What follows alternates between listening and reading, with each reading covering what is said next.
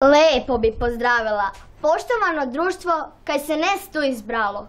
Kaj bi s nami jen komadiček cajta ponucalo? Ovakvu nam je dobrodošlicu pripremila članica kajkavske družine Sara Pekeža iz Tuhelja. S vršnjacima polno prati starije sumještane koji se trude sačuvati običaje zagorskog kraja. Kako se plete, veze ili šlinga pokazale su im članice udruge umirovljenika Tuhelj. Radimo ovoga, razne cvjetiće od e, krep papira, e, radimo košarice, buketiće, pa isto tako po starim običajima, običajima još malo da se ukiti po zimi naš stol. E, radimo ručne radove, znači na starom domaćem platnu kojega još tu i tam neko ima. Znači to su te plahte, lane, koje su nekad ručno tkane, pa na njima se isto tako šlinga i veze nešto. Naša gospođa Danica, ona se baš posvetila izradi tih sakralnih predmeta, znači oltarnike, oblači, šiva halinice za našu majku Božju, koju za veliku gospu oblači, isto tako i po drugim crkvama. Ona sa zlatnim koncem i srebrom veže, veze te ovoga, svečane stonjake koji služe za evo, proslavu, ne znam, Antunovo, pa Dan Velike Gospe i tako.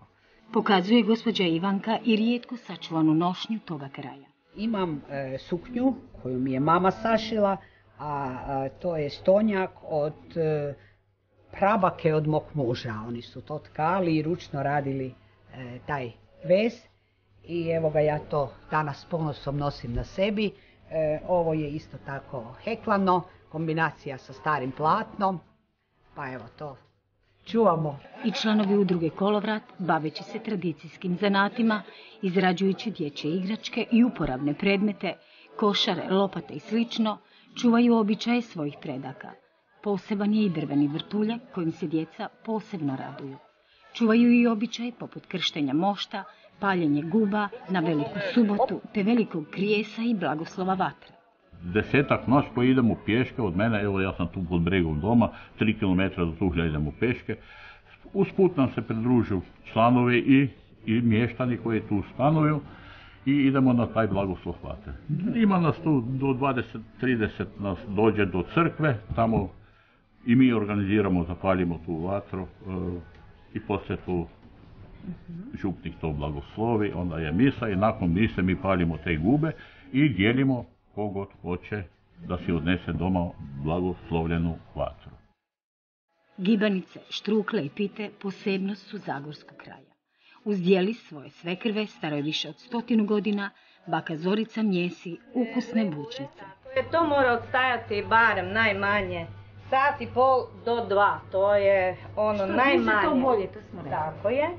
Nadjeh mora biti mokar i mora ga biti dovoljno. Vidite, tako lijepo.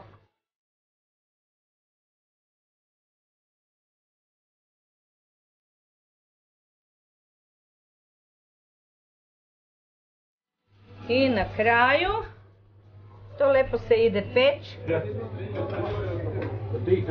Evo, bučače gotova. Evo ga. Nijedan važan događaj, državni ili crkveni, uz hranu, pjesmu i veselje, ne može proći bez kuburaša. Kuburaška udruga Munja Tuhelj, e, trenutno brojimo 50 članova.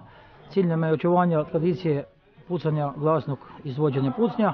Znači, učestvujemo na tradicionalno na e, svim svečanostima, svadbama, povodom dana državnosti, za uskrs i na svim e, smotrama kuburijada u cijeloj županiji. Nema veće ljepote nego otvoriti škrinjicu sjećanja i s pomoću sitnica prošetati prošlošću svojih predaka.